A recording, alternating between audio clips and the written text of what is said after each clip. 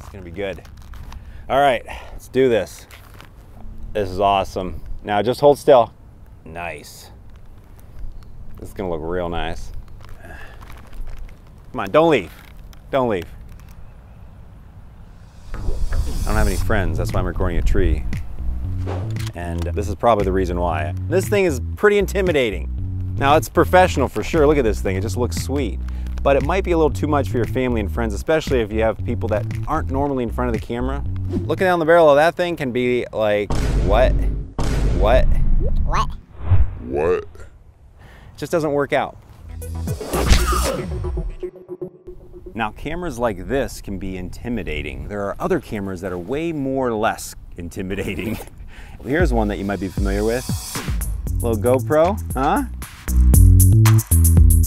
Pull this thing out and people will actually get up in its grill and they wanna be on camera because they just wanna know what is that little guy? Now, of course, the view is a little bit different, it's wider, and it might give you some unique looks, but for sure you'll get the shots you want. They just might be a little bit different or a little bit creative. One little camera. Now a camera that you might not be familiar with, another little cute camera, is this little guy. It's a little Ego, little liquid image Ego cam, or the Lick.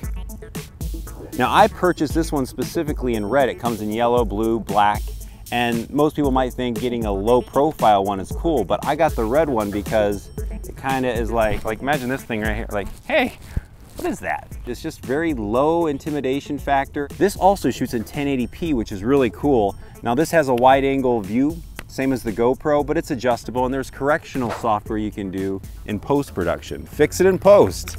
Another camera that I use all the time is the Canon ELPH. This is the 300HS series, and this camera has been updated a few models. And again, I purchased the red one, but this also shoots in 1080p at 24 frames a second, and it gets some amazing video footage. And look at that thing.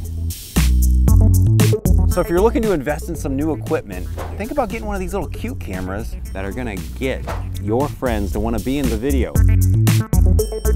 Knoptop, go make something. The cute camera. Look at this little guy. Look at this little guy.